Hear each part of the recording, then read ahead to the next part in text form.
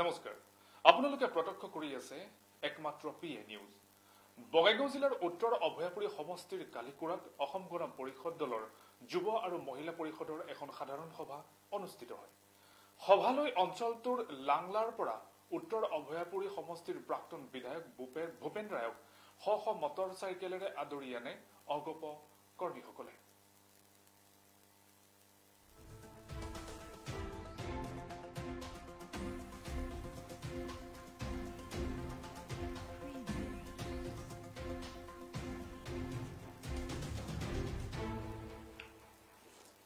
বঙাইগাঁও জিলাৰ উত্তৰ অভয়াপুৰী সমষ্টিৰ কালিকুৰাত অসম গণ পৰিষদ দলৰ যুৱ আৰু মহিলা পৰিষদৰ এখন সাধাৰণ সভা অনুষ্ঠিত হয়।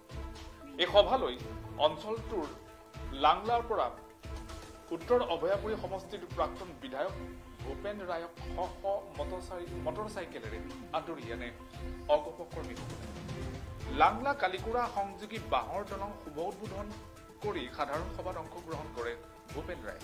সাধাৰণ সভাত কংগ্ৰেছ আৰু A I U D F দলৰ দুশৰো অধিক লোকে অসম গণ পৰিষদ দলত আনুষ্ঠানিকভাৱে যোগদান কৰে।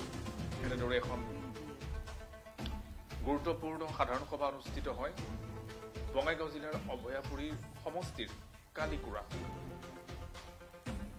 অসম গণ পৰিষদৰ যুৱ আৰু মহিলা পৰিষদৰ এই সাধাৰণ সভাত উপস্থিত থাকে উত্তৰ অভয়াপুৰী সমষ্টিৰ প্ৰাক্তন বিধায়ক ভূপেন ৰায়। এই ভূপেন ৰায়ক শ শ মটৰ চাইকেলেৰে আদৰি আনে। অগপৰ কৰ্মীসকলে লাংলা কালিপুৰা সংযোগী বাঁহৰ দলং শুভ উদ্বোধন কৰি সাধাৰণ সভাত অংশগ্ৰহণ কৰে ভূপেন ৰায়। সাধাৰণ সভাত কংগ্ৰেছ আৰু এ আই ডি এফ দলৰ দুই শতাধিক লোকে অসম গণ পৰিষদ দলত আনুষ্ঠানিকভাৱে যোগদান কৰা পৰিলক্ষিত হয়। এনেদৰে আগন্তুক অসম বিধানসভা নিৰ্বাচনক লৈ প্ৰতিটো ৰাজনৈতিক দলেই নিৰ্বাচনী প্ৰচাৰ তথা নিৰ্বাচনী কুচকাৱাজ আৰম্ভ কৰিছে।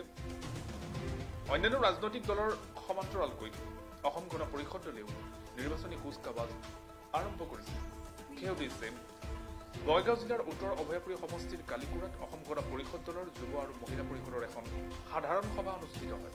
এই সভালৈ বাইক ৰেলীৰে আদৰি আনে সমষ্টিটোৰ প্ৰাক্তন বিধায়ক ভূপেন ৰায়ক। লাংলা কালিকুৰা সংযোগী বাঁহৰ দলংখন শুভ উদ্বোধন কৰি সাধাৰণ সভাত অংশগ্ৰহণ কৰে ভূপেন ৰায়।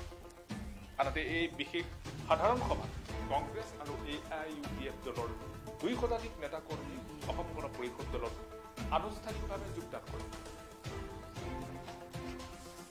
শক্তি পৰিষদৰ উদ্যোগত যুৱ আৰু মহিলা অধিৱেশন পতা হৈছে। আমি সমষ্টি ভিত্তিক প্ৰতিটো আঞ্চলিকত যুৱ আৰু মহিলা আঞ্চলিক পৰিষদ গঠন কৰিব ওলাইছোঁ। সেই উদ্দেশ্যে আজি ইয়াত সমবেত হৈছোঁ। কিমান মানুহৰ মানুহ আমাৰ টাৰ্গেট আছে দুইশ প্ৰতিনিধি আহিব কিন্তু প্ৰায় চাৰিশৰ অধিক মানুহ স্বতঃস্ফূৰ্তভাৱে আমাৰ ইয়াত যোগদান কৰিছে। আৰু অতি কমেও দুইশৰ অধিক এ আই ডি এফ আৰু কংগ্ৰেছৰ পৰা সমৰ্থক আহি আমাৰ অসম গণ পৰিষদ আনুষ্ঠানিকভাৱে আজি যোগদান কৰিছে। অসমত ইতিমধ্যে নতুন নতুন বহুতকেইটা ৰাজনৈতিক দল ওলাইছে। সেইকেইটা ৰাজনৈতিক দলৰ প্ৰভাৱ কেনেকুৱা পৰিব? আমি ভাবোঁ অসমৰ আঞ্চলিক দল হিচাপে একমাত্ৰ অসম গণ পৰিষদ দলে এই দলৰ প্ৰতিপক্ষ কোনো আঞ্চলিক দল হ'ব নোৱাৰে। গতিকে এই দলবিলাকক লৈ আমি অসমবাসীক অনুৰোধ জনাইছোঁ যে অসমৰ স্বাৰ্থত অসম গণ পৰিষদ আঞ্চলিক দলকে সমৰ্থন জনাব বুলি। যিহেতু বৰ্তমান কংগ্ৰেছৰ বিধায়কে সমষ্টি সমষ্টিৰ ভিতৰত আটাইতকৈ গুৰুত্বপূৰ্ণ সমষ্টিৰ ভিতৰত এইটো পঞ্চায়ত। কিন্তু দেখা গৈছে জপিয়া পঞ্চায়তত যে চাৰিওফালে নদীয়ে আৱৰি ধৰিছে। এই ক্ষেত্ৰত আপোনালোকৰ বিধায়কসকলে কি কৰিব যে কংগ্ৰেছৰ বিধায়ক আব্দুল হাই নাগৰী তেখেত এজন অকমান্য তথা অদক্ষ বিধায়ক বুলি ৰাইজৰ মাজত আলোচিত হৈছে। কাৰণ তেওঁ পাঁচ বছৰত বিধানসভাত তেওঁ ৰাইজৰ হৈ কোনো মাত মাতা নাই। আৰু বিশেষকৈ জপিয়া আঞ্চলিকত আমাৰ মিছন আছে যে আমাৰ যিহেতু চৰকাৰ আহিব মৃত্যুজোঁটৰ আৰু অসম গণ পৰিষদ আমি এলায়েন্স থাকিম। গতিকে আমাৰ বিধায়ক জিকিলে আমি সমষ্টিখনত বিশেষকৈ গৰাখহনীয়া প্ৰতিৰোধ আৰু ৰাস্তা ঘাটৰ বেছি বেছি গুৰুত্ব দিম বুলি ভাবিছোঁ। আজি আমাৰ জপিয়া শক্তি পৰিষদৰ উদ্যোগত জপিয়া যুৱ শক্তি পৰিষদ গঠন কৰাৰ কাৰণে আজি অধিৱেশন পাতিছে।